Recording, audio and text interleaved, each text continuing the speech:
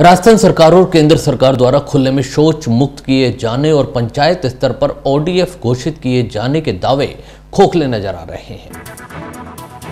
ग्रामीण क्षेत्र भजीट और मदनपुरी के ग्रामीणों को शौचालय तो दूर, पीने का पानी भी नसीब नहीं हो पा रहा। इस पर आक्रोशित ग्रामीणों ने अलवर कलेक्टर निवास और जिला परिषद कार्यालय में प्रदर्शन किया और सरपंच पर गंभीर आरोप लगाए।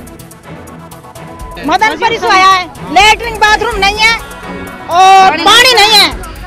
ये तो सुविधा होनी चाहिए सर। सुविधा होनी चाहिए सरपंच। बढ़ाता क्यों नहीं है? ये बताओ हमको पानी क्यों नहीं? टूटा आदमी है लंगड़ा आदमी तो खा जाएगा नहीं मटवा। हैं? अब हमारा पाँव से नहीं चले जाता कोई हमारे बहु होटली झाड़ेंगे कि हमारा नहीं? खाना में लेटरिन बाथरूम ना है पानी। हमारा ढोक सब पिसाया मर रहा है। हमारे छोटे सैन सैन छोरे खा जाए जंगल में। जाएँगे? मदनपुरी और भजीट के ग्रामवासी आए हैं। ग्राम मदनपुरी और भजीट में पानी की बहुत समस्या है, क्योंकि जो कनेक्शन जुड़ा हुआ था, जिससे पानी पीते तो वो कट गया है, सरपंच बिल नहीं भर रहा है। और ग्राम पंचायत भजीट को सरपंच ने गलत तरीके से ओडीएफ घोषित कर दिया, जबकि पिचहत्तर परसेंट घरों में शौचालय नहीं बने। लोग वह खेतों में जाते हैं, बहुत परेशानी हो रही है। इसीलिए सब ग्राम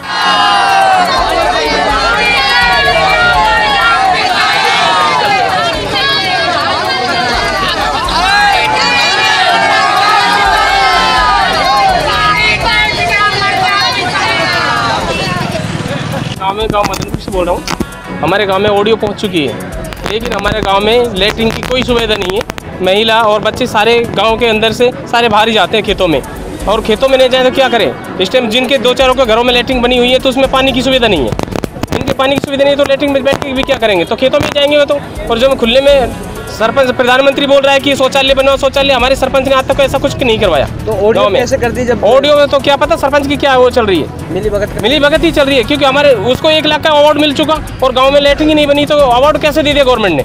उसको उसको बुला के पूछा जाए कि गवर्नमेंट को घर दिखाया जाए। किसको उसने पैसे दिलवाए? कोई गरीब है किसी ने कर्जा लेके लेटरिन बना दिया तो उसको आज तक पैसे नहीं मिले।